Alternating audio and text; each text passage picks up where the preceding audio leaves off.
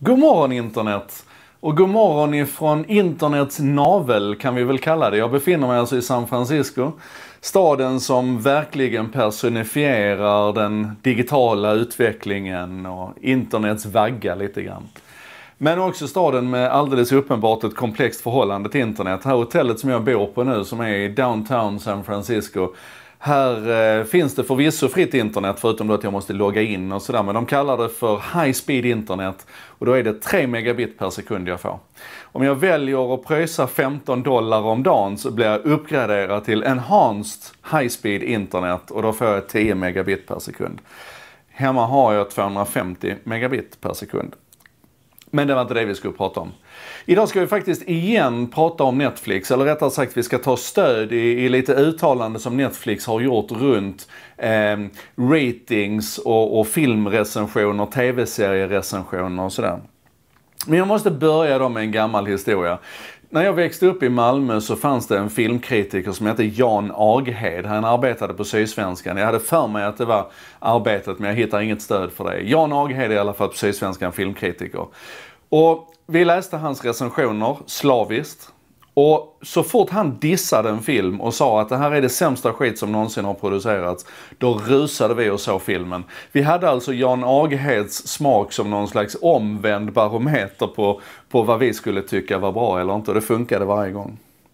Det som Netflix nu har pratat om här i, i en, eh, i en presentation, det är att man har pratat om eh, varför, bland annat så här, varför plockade man bort Eh, det här stjärnsystemet där vi kunde ratea filmerna, där vi alltså kunde gå in och inte bara med vårt beteende utan också med vår åsikt om en film försöka ge den ett betyg.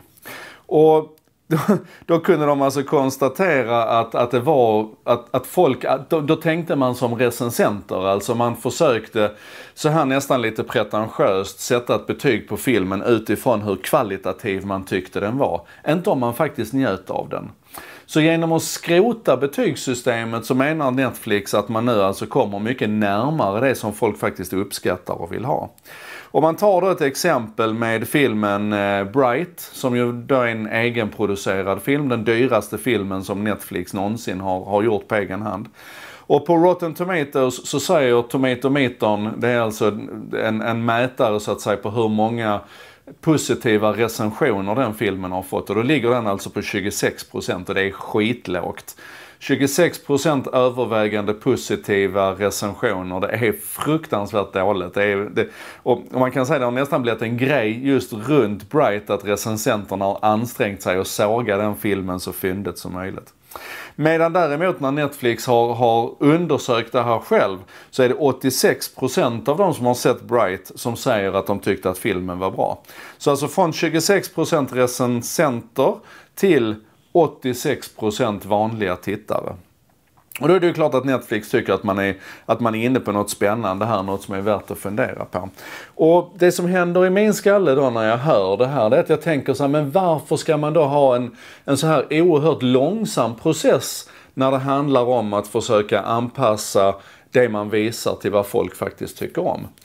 Och jag vet inte om ni kommer ihåg, vi pratade för ett tag sedan här i En sak idag om en eh, vaggvisa som var skriven av ett AI. Eller rättare sagt ett företag hade låtit en, en människa, en duktig kompositör skriva en vaggvisa och sen så lät man ett AI skriva en vaggvisa.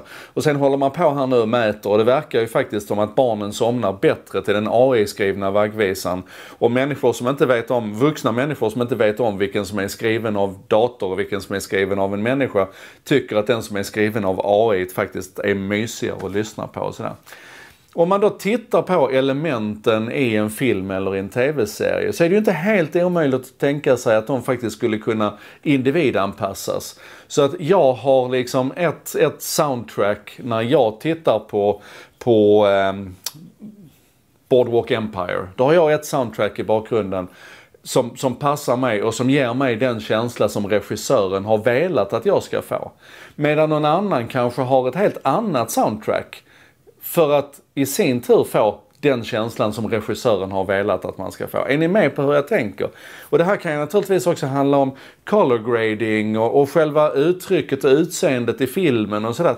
Det är så otroligt mycket av rörlig bild som vi skulle kunna individanpassa om vi hade kortslutit den här cirkeln liksom och, och, och samlat in det här datat på, på vad just jag tycker om det här.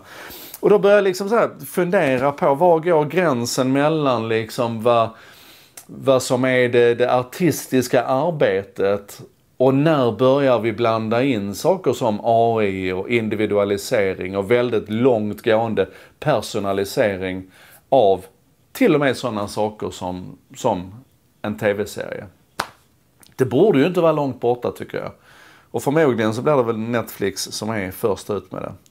Anyway, det här får vi fundera på. Hur långt önskar vi individualisering och personalisering? Och hur mycket tycker vi det är, det är värt att, att vi å andra sidan då har, har exakt samma förutsättningar och få upplevelser av materialet. Jag tror ni är med på vad jag menar. Jag tycker i alla fall att det här är, är sjukt spännande att fundera på och allting började egentligen då med att eh, jag läste om Netflix som dissar recensenterna när de recenserar dem.